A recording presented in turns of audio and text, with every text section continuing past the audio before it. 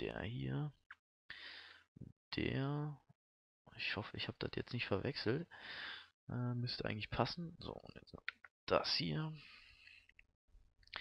So. Das müssten jetzt bei mir alle Tasten sein. Also die Tasten jetzt hier unten nur zum Verständnis. Die beiden hier unten sind, äh, wenn man die äh, Sticks nach unten drückt. Das ist meistens auch ein Knopf.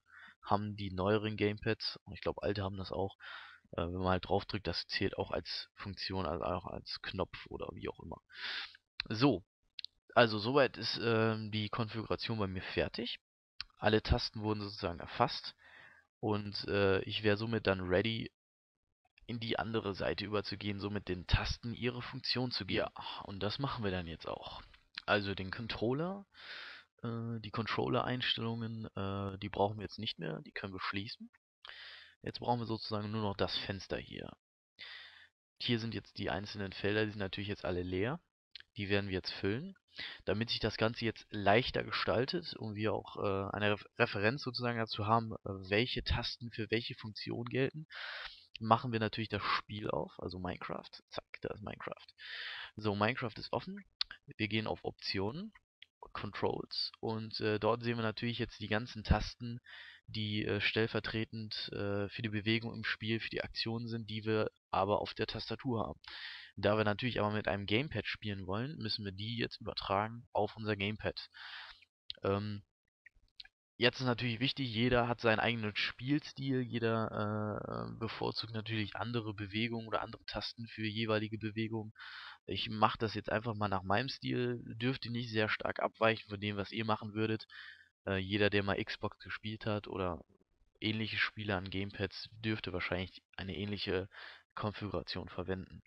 So, man, man nehme sein Gamepad, äh, Moment. Oh, das hängt gerade hier Kabel. Oh, furchtbar. So, also, Gamepads zur Hand und ähm, legen wir los. Also, ähm, ich würde sagen, das erste Wichtige ist äh, die Bewegung. Also bei der, bei, der Tastatur wäre das WASD, also W vorwärts, rückwärts, links, rechts. Das ist äh, dementsprechend, nach meiner Meinung nach, wäre das der linke äh, Stick.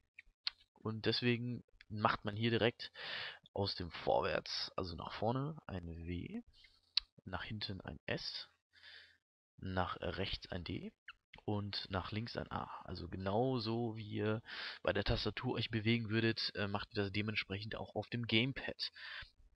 Äh, nächster Schritt würde ich sagen, ist äh, die Sicht, also sozusagen dort, wo ihr hinschaut. Das wäre dementsprechend dann der rechte Stick, äh, würde nahe liegen. Und ähm, jetzt muss man natürlich ein bisschen tricksen. Dadurch, dass Minecraft in den Controls, das wird ja vorausgesetzt, es ist ein Spiel am Computer, man bewegt sich oder es schaut sich um mit der Maus, muss man jetzt ein wenig tricksen. Äh, das geht, indem man jetzt da draufklickt, äh, wieder die Tastatur hervorscheint.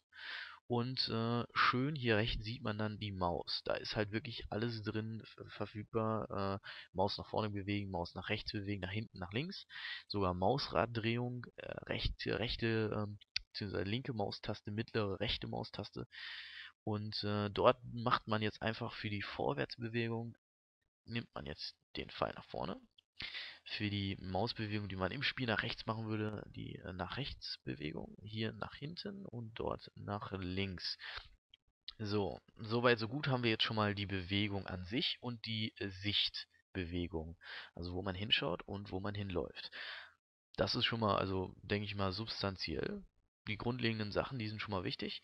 Und äh, der Rest ist eigentlich, den kann man eigentlich frei wählen. Selbst das hier kann man frei wählen, aber ich würde sagen, das ist wirklich ähm, sehr, äh, wie soll man sagen, also ich würde schon empfehlen, die hier zu machen, weil sonst kommt man ein bisschen durcheinander mit den Tasten und es wird auch ein bisschen unbequem. So, also die meisten Leute spielen auch sehr gerne mit dem D-Pad, also wenn ihr wollt, könnt ihr die Bewegung auch hier doppelt machen, das ist gar kein Problem. Also es ist, das äh, beißt sich nicht. Wenn ihr euch lieber mit dem D-Pad bewegen wollt, könnt ihr auch hier genau dieselbe Einstellung übernehmen. Das ist gar kein Problem. So, äh, machen wir einfach mal weiter. Also ich springe ganz gerne auf der A-Taste. Deswegen tue ich da jetzt einfach mal Springen drauf. Das ist Space. Ähm, gemäß äh, Final Fantasy Spielern, die gerne mal, oder anderen RPG Spielern, die gerne mal ihr Inventar auf Y aufmachen oder halt Dreieck, tue ich hier mal I hin. Hier geht das Inventar auf. So, hier sehe ich gerade, hat sich was reingeschlichen. Irgendeine Taste, die ich vorhin wahrscheinlich, bin vorhin wahrscheinlich auf den Knopf gekommen. Ähm, ich würde mal sagen, hier machen wir jetzt einfach mal Schleichen rein. Das ist, glaube ich, Shift, linke Shift-Taste. So, linke Shift-Taste schließen. Und äh, das würde ich sagen, machen wir einfach mal für ähm, Gegenstände droppen. Q für droppen. So. Jetzt haben wir natürlich schon einiges belegt an Tasten. Wichtig natürlich, äh, was noch fehlt, ganz klar, ist die Aktionstaste. Äh, Tunnel bauen, Wände kaputt schlagen, Schweine jagen, alles gehört dazu. Ähm, würde ich mal sagen, nehmen wir einfach mal hinten die ähm, Trigger-Taste. Äh, das müsste theoretisch die hier sein, wenn ich mich nicht irre natürlich die Aktionstaste, also sozusagen äh, das, was ihr tut mit der Hand, mit der Schaufel. Und äh, die andere Seite wäre dann zum Beispiel Kiste hinlegen, Sachen hinlegen oder platzieren, Wände bauen und so weiter und so fort. Also die Taste. Ja, soweit. Eigentlich das Notwendige ist eigentlich schon drin. Mehr braucht man nicht. Ihr müsst natürlich nicht vergessen, oder ihr solltet nicht vergessen, dass ihr jederzeit ähm, das Gamepad zur Seite legen könnt und die Tastatur benutzen könnt. Also ihr müsst jetzt theoretisch nicht alle Tasten verwenden. Es ist nicht so, dass die Tastatur sich komplett abschaltet. Ihr könnt weiterhin auch die Tastatur nebenbei noch benutzen. Ähm, ist alles möglich. Wollt ihr natürlich komplett das Gamepad benutzen, würde ich euch empfehlen, noch die Escape-Taste zu binden. Ähm, damit ihr wieder zurück ins Menü kommt. Steht hier natürlich nicht drin, aber Escape-Taste ist natürlich mit drin. Würde ich sagen, Start passt sehr gut. Ähm, ja, was haben wir denn noch? Chat-Taste. Ja, Chat-Taste könnte man vielleicht hier als äh, für den Stick zum Drücken nehmen. Da. Ich persönlich benutze die Chat, Chest, äh, Gott, oh Chat-Taste nicht. Ähm, äh, meistens trifft man sich ja im Teamspeak oder so, wenn man zockt. Ist ja immer so schön. Und ähm, ja, was brauchen wir noch? Back to Thema. Toggle Fog. Hm, machen wir hier. Wie gesagt, äh, auch nicht so wichtig geht eigentlich. Ähm, ja, ach ja, ganz wichtig ist noch, ähm, wenn man natürlich im Inventar ist und durch das Menü scrollt, oder halt auch rumläuft und durch das Menü scrollt, wäre natürlich ganz gut Mausrad runter und Mausrad hoch. So, ich würde sagen, das war's soweit. Ähm, die, die notwendigen Tasten sind alle belegt. Wie gesagt, die Konfiguration könnt ihr machen, wie ihr wollt. Das ist, äh, das bleibt völlig euch überlassen. Ob ihr jetzt euch hiermit bewegt oder damit bewegt oder das oder hier macht, ist wirklich, könnt ihr wählen, wie ihr wollt. Wichtig ist halt nur, dass ihr äh, es wirklich dann genauso macht. Ihr müsst halt die Funktion immer in die jeweiligen Tasten machen, sonst funktioniert es nicht. Wie eben gerade gezeigt. So. Ganz wichtig ist, äh, Minecraft können wir jetzt erstmal minimieren.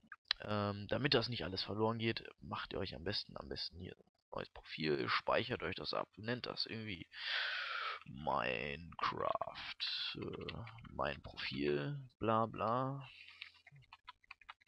blub blub, wie auch immer, zack rein. Und äh, hier natürlich auch einmal speichern, so, alles gespeichert.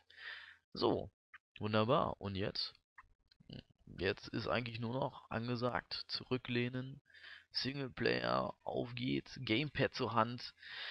Und chillen. Ich wünsche euch viel Spaß dabei und ich hoffe, es hat euch gefallen. Ich hoffe, es hat euch geholfen und äh, ja, es würde mich freuen, wenn ihr euch mal meldet. Viel Spaß beim Zocken und äh, beim Steine kaputt machen. Dupdidup. Und springen.